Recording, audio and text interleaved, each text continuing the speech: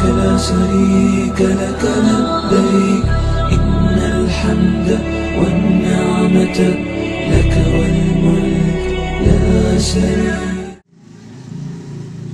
Assalamualaikum warahmatullahi wabarakatuh.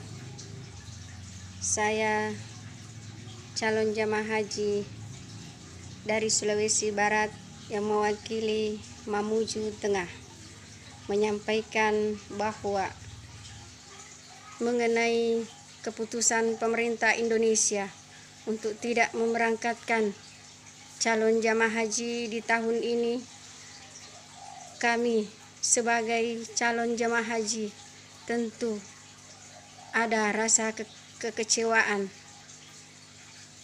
Namun kami hanya berharap semoga di balik semua ini ada hikmah yang besar dan mudah-mudahan pandemi ini akan segera berakhir dan insya Allah di tahun yang akan datang kita bisa diberangkatkan dan semoga seluruh calon jamaah haji diberikan umur yang panjang.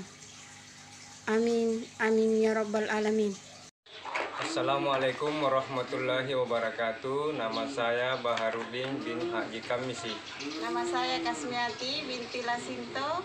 Kami pasangan suami istri, calon jamaah haji asal Kabupaten Pasangkayu. Terkait pembatalan pemberangkatan jamaah haji tahun ini, kami selaku hamba Allah dan warga negara yang baik menerima dengan ikhlas dan sabar atas keputusan pemerintah tersebut. Harapannya semoga pandemi ini cepat berakhir dan jemaah haji tahun depan bisa diberangkatkan semuanya. Assalamualaikum warahmatullahi wabarakatuh.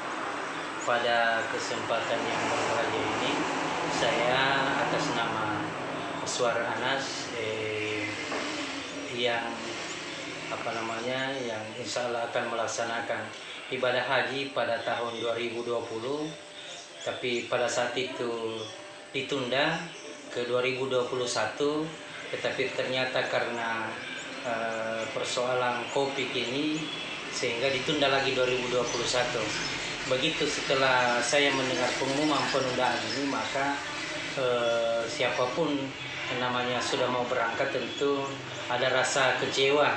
Tetapi di samping itu kita harus kembalikan bahwa ini adalah panggilan Allah sehingga mau tidak mau eh, kesabaran itu harus kita munculkan. Karena itu mudah-mudahan dengan kesabaran itu insya Allah tahun 2022 tahun depan dengan covid ini telah pergi sehingga kita semua berangkat secara normal dari Kabupaten Pasangkayu pada khususnya. Karena Allah Subhanahu wa taala menjelaskan innallaha ma'as sabirin sesungguhnya Allah beserta dengan orang-orang yang sabar harapan kami selaku calon jemaah haji insya Allah tahun 2022 semoga kami semua bisa berangkat khususnya di Kabupaten Pasangkayu. Bismillahirrahmanirrahim. Assalamualaikum warahmatullahi wabarakatuh. Saya atas nama Hasan Umar bin Haji Umar Raub, calon jamaah haji tahun 2021 dari Kecamatan Polowali, Kabupaten Polowali Mandar, Provinsi Sulawesi Barat dengan nomor porsi 3800018 546 mewakili jamaah haji dari Kabupaten Polewali Mandar kami menyampaikan kesedihan mendalam karena keberangkatan haji tahun ini dibatalkan. Tapi kami yakin pemerintah sudah memutuskan yang terbaik dan sudah melakukan melakukan kajian di tengah pandemi Covid-19 kami ikhlas kami yakin pemerintah tentu ingin memberikan yang terbaik buat masyarakatnya Assalamualaikum warahmatullahi wabarakatuh.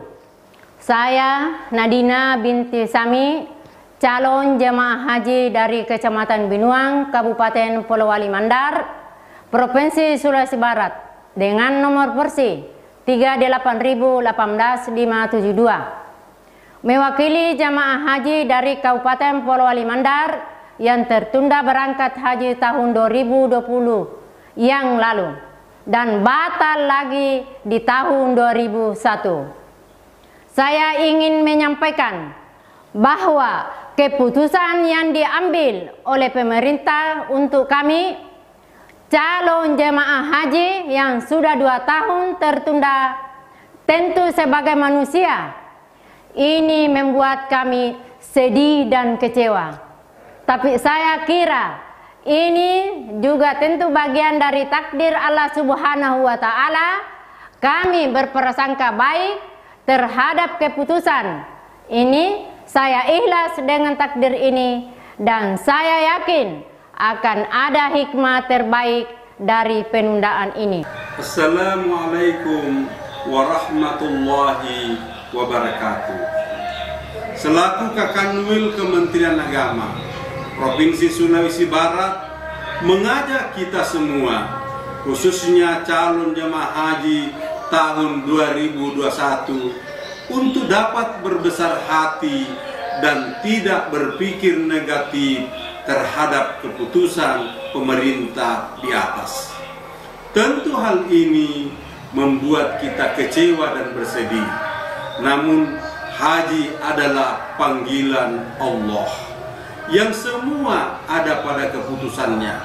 Karena itu Mari kita mendukung kebijakan atas KMA tersebut dengan membaca, memahami, dan mensosialisasikan kepada seluruh keluarga terkhusus kepada para calon haji yang berangkat tahun 2021. Terima kasih atas pengertian dan kerjasamanya. Wassalamualaikum warahmatullahi wabarakatuh.